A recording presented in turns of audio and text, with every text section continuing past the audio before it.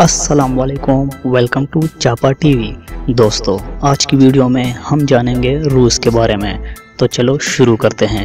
दोस्तों, रशिया का नाम सुनते ही इंसान के जहन में बड़ी बड़ी गाड़ियाँ बड़े बड़े हथियार, सुअर की तरह पले हुए दियो मानन मर्द और हुसन की बिजली गिराती हसीनाओं का ख्याल आता है। दुनिया के बड़े ममालिक में रशिया का नाम आता है।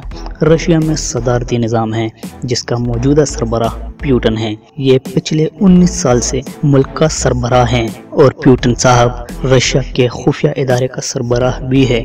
रशिया का सदर बनने के लिए 50 फ़ीसद वोट हासिल करना ज़रूरी है।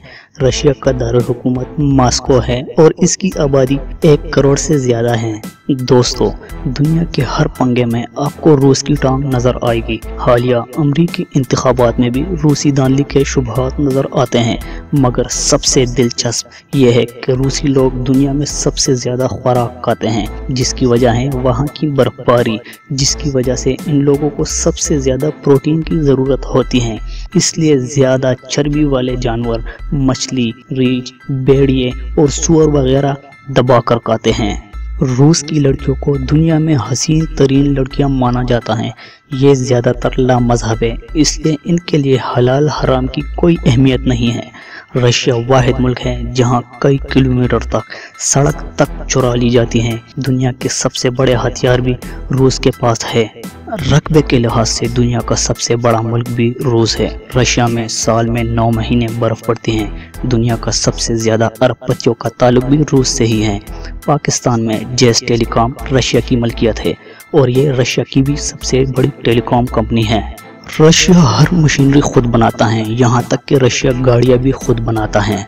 रशिया काने के बहुत से अज्जा बाहर मुल्कों से दरामद करता है। रशिया सालाना एक सौ चौंतीस अरब का तेल बेचता है और 15 अरब डॉलर का स्टील एक्सपोर्ट करता है। दुनिया भर में सबसे ज़्यादा टैक्सी का किराया रशिया के एयरपोर्ट्स पर लिया जाता है।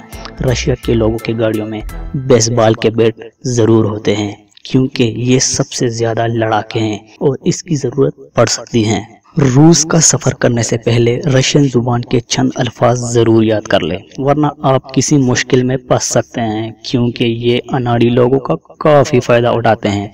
दोस्तों, क्या आप जानते हैं रशिया का रकबा प्लॉटों से भी ज़्यादा है? रशिया में पब्लिक ट्रांसपोर्ट इस्तेमाल करते वक्त किराया पूछ लो, वरना उन पर कोई कानून अप्लाई नहीं होता और मुँह मांगी रकम देनी पड़ती है। रशिया की फौज दुनिया की बड़ी अफवाज में दूसरे नंबर पर है। दोस्तों इनकी आर्मी की तादाद 12 लाख है। दुनिया के सबसे ज़्यादा गाड़ियों के टकराने के वाकियात भी रशिया में होते हैं। रशिया में लड़कियों के पैदाइश पर 10 दिन तक जश्न मनाया जाता है। रशिया में जब किसी के घर जाते हैं तो उनकी औरतों के लिए फूल और बच्चों के लिए खिलौने ज़रूर खरीदता है और जो ना खरीदे, उनको बुरा समझा जाता है। रशिया का मेट्रो ट्रेन सिस्टम दुनिया का पुराना और सबसे बड़ा मेट्रो सिस्टम है। रशिया का कौमी जानवर बर्फानी रीछ है। दुनिया में सबसे ज़्यादा भेड़िए भी रशियन ही कहते हैं। रशिया में 500 यूनिवर्सिटी हैं। रशिया की आबादी 15 करोड़ के करीब है। दोस्तों, रशिया के जखायर चार खरब डॉलर है। रशिया की सबसे ऊँची बिल्डिंग फेडरेशन टावर है, जिसकी ऊंचाई 360 मीटर है। रशिया की करेंसी रूबेल है, जो पाकिस्तानी तकरीबन दो रुपए के बराबर है। रशिया में बर्फबारी का कोई एतबार नहीं कि कब शुरू हो जाए। इसलिए हर किसी के पास हर वक्त वाटरप्रूफ जैकेट और वाटरप्रूफ शूज़ होते हैं। रशिया में दाढ़ी रखने पर भी टैक्स देना पड़ता है। दोस्तों, रशिया में लड़कियों की तादाद मर्दों के मुकाबले काफ़ी ज़्यादा है, इसलिए लड़कियों की बोली लगाकर पूरी दुनिया में करोड़ों रुपए में बेचा जाता है। दोस्तों, रशिया के कई शहरों में दर्ज हरारत माइनस सत्रह डिग्री तक रहता है। रशिया में मुख्तलिफ़ ममालिक के लोग नेशनलिटी होल्डर है और तकरीबन 180 ममालिक के लोग यहाँ क्याम पजीर है। रशिया में तिरासी मजाहब के लोग रहते हैं। रशिया दुनिया के हर खेल में शामिल है, सिवाय क्रिकेट के। दोस्तों दुनिया की पहली सैटेलाइट भी खला में रशिया ने ही भेजी थी।